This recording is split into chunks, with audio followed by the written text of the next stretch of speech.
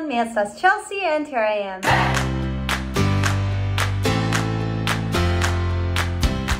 Kiel scias ci tie en domingo mi shatas resti en Sosua. Sed lasta tempe mi decidis voyagi al Santo Domingo, char mia flugo al alia lando foriros de tiu urbo. Do mi pensis al mi mem, kiam ne vidi la urbon anto ol mi foriros. Kai mi estas ege felicia che mi faris tion. La problema estis che mi nur havis iom da tempo. Mi foriris de Sosua je la dec unua en la meteno, kai mi alvenis en Santo Domingo je la tria postagmese. Sed mia flugo estis en la mateno venont tage. Do mi nur havis la vesperon en Santo Domingo. Tio ne estas multe da tempo por vidi urbon, sed mi pensas che mi vidis suffice da aferoi.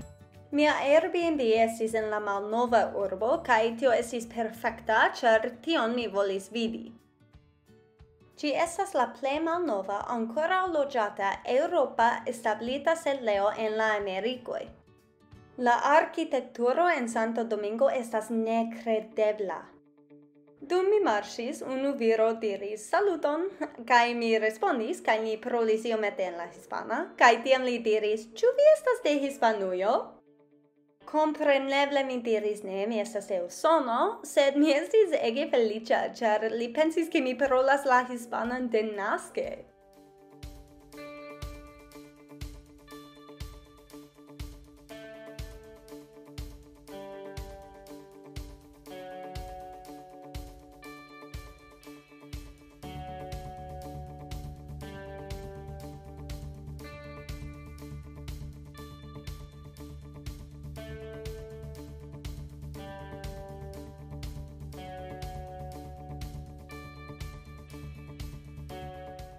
Mi amas museoin, do mia unua celo estis iri alla Museo de la Regiae Domoi au Museo de las Casas Reales. Plei parte la museo estis tute en la Hispana, do tio estis bona exerto por mi. Mi pensis che gi estas ege bella.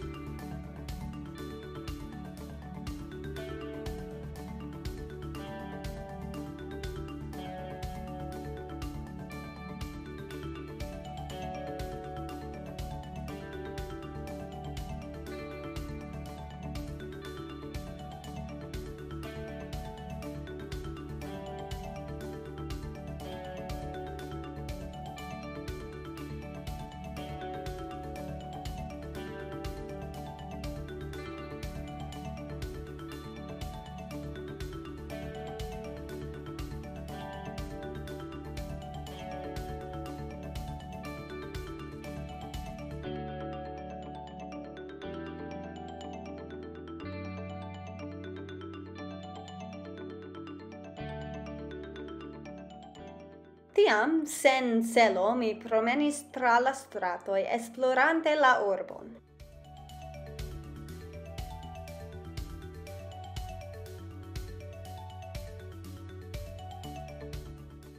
Mi vidis multain junain knabinoin foti por sian quincenieras.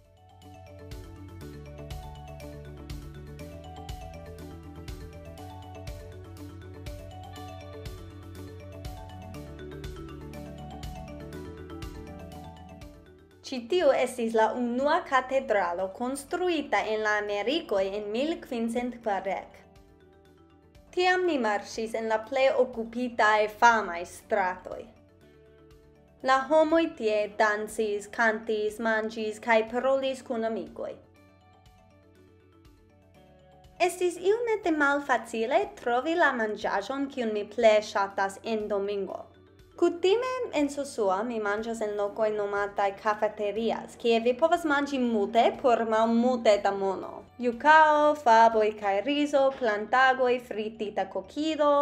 Sed tie en Santo Domingo estis tro malfrue en la tago kaj mi ne povis trovi tion kion mi volis manĝi. Sed mi manĝis piton, parolis kun multaj amallaj homoj kaj vidis la mirindan urbon.